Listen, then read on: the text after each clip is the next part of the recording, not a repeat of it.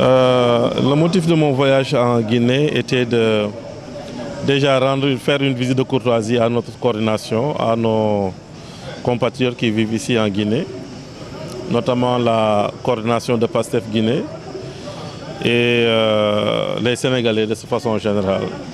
Donc j'étais passé leur transmettre le bonjour de leurs compatriotes qui sont restés au pays. On a rencontré une grande partie de nos compatriotes qui sont à Conakry. Il est vraiment dommage qu'on n'ait pas pu aller au-delà de, la capitale.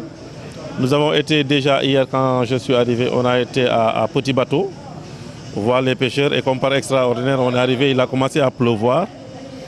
Et chez nous, c'est bon signe. Quand on arrive et qu'on voit la pluie, l'eau de façon générale tomber du ciel, on dit que c'est la grâce divine. Donc ils disent que je suis, venu avec la pluie. Comme lorsqu'on faisait le vote, il avait, il, plu aussi.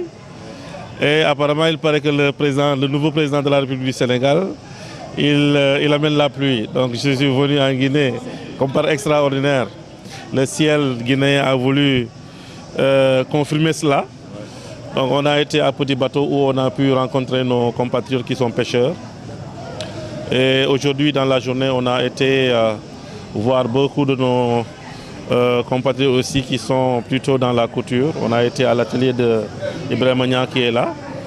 On a été voir aussi certains autres. On a fait des visites de proximité où on a été euh, quasiment dans, beaucoup de quartiers de la ville. Déjà, remercier les autorités guinéennes, en premier le général Mamadou Doumbia, qui a accordé à la communauté sénégalaise depuis qu'il est au pouvoir un certain nombre de, privilèges qu'il n'avait pas. Déjà, euh, à, Kaloum, à Kaloum, on a tenu euh, un meeting aujourd'hui sur la voie publique, bien sûr, qui était autorisé par les autorités locales, ce qui est déjà une, grande chose. Donc nous tenons à remercier nos frères guinéens, les autorités, pour nous euh, accorder ces, privilèges-là. Euh, euh, naturellement, on a, transmis le message aussi du président de la République du Sénégal, son Excellence M. Bassirou Diomaye Faye, message qu'il adresse à son homologue guinéen, et aussi les hommages du Premier ministre M. Ousmane Sonko, qu'il adresse à toute la communauté guinéenne et aux Sénégalais résidant en Guinée. On est dans un cadre politique vous comprendrez pourquoi cette sobriété. Si c'était le, ministre qui était venu, ce serait avec les honneurs de la République. Mais là, c'est le militant. C'est le militant parce qu'au-delà d'être ministre-chef de cabinet du président de la République, je suis le secrétaire national en charge de la diaspora de PASTEF.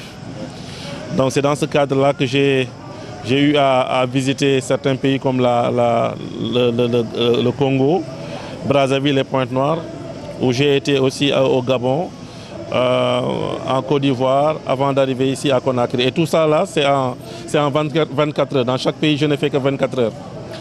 Donc euh, le message c'était ça, faire le tour de tous nos compatriotes, leur expliquer les enjeux qu'il y a déjà là concernant l'élection du dimanche prochain, du 17 novembre, les enjeux. Et naturellement, la Guinée étant un point très important pour le Sénégal, il fallait être là et naturellement passer ce message-là dans la sobriété.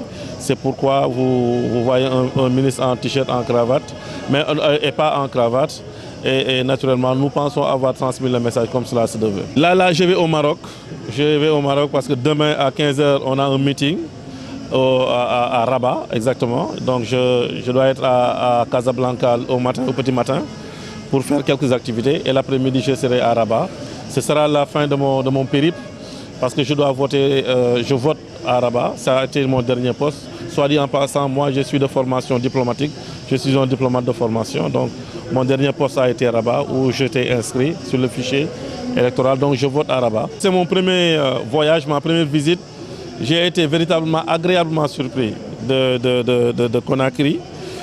Euh, déjà, lorsqu'on survolait, quand j'ai vu du ciel comment la ville était, combien elle était, elle était importante. Alors j'ai compris combien le travail que nos amis qui sont là était difficile. Parce que nous, de là-bas, souvent, on leur dit, on, compare un peu les pays. Moi, puisque je suis responsable de, de toute la diaspora et notre parti est représenté dans 50 pays hors du Sénégal. Et quand je dis représenté, c'est avec une structure très bien organisée, des cotisations qui sont reçues, avec un président, un trésorier, un secrétaire, tout ça, l'architecture typique d'un parti bien organisé. Et c'est des centaines, voire même des milliers de, de, militants que nous avons dans certains pays.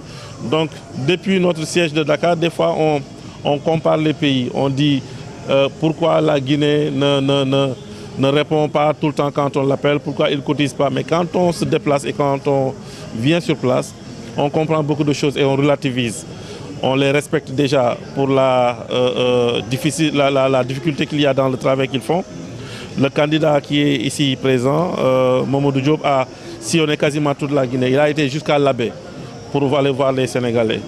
Euh, et, et, nous, on sait que faire 50 km en Afrique, c'est différent de faire 200 km en Europe ou aux États-Unis. Mais la volonté qu'il faut pour le faire, ils l'ont eu et ils l'ont fait. Donc c'est avec beaucoup de satisfaction que nous repartons au Sénégal. Et aussi, il était important qu'on puisse mettre des visages sur les noms que nous avons. Parce que quand on est encore loin, on parle aux gens au téléphone, on se réunit des fois euh, euh, sur, euh, sur des plateformes médiatiques, mais on n'a pas l'occasion de voir les gens. Et se déplacer permet de pouvoir chaque fois euh, toucher les personnes, les identifier. Et nous recevons aussi, compte tenu des, nominations qui sont en train d'être faites aux différents postes de service au Sénégal, nous recevons beaucoup de CV.